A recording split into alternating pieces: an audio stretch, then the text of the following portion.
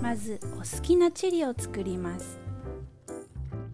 水で溶いたタピオカ粉を加えて固めにします。そしたら冷蔵庫で冷やしておきましょう。我が家のチリはシンプルです。大好きなのでたくさん作って冷凍します。市販品でももちろん OK こちらが今日の材料です。固めに作っておいたチリ。1分の1カップ。アボカド4分の1個。ご飯2食分。卵4個。チーズ1分の1カップ。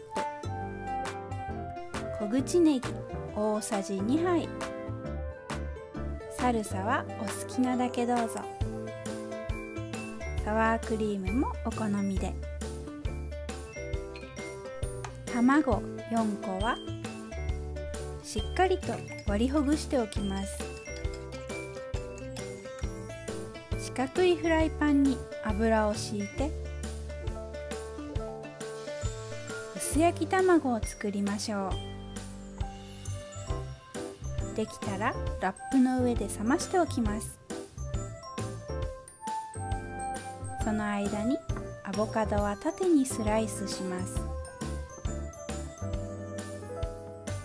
卵が少し冷めたらご飯を広げていきましょう。手前にアボカドを並べて固めに作っておいたチリ。ゆるいと流れ出て大変なことになってしまいます。チーズをパラパラとかけてラップとアボカドに指を置いたら握りながら巻いていきましょう。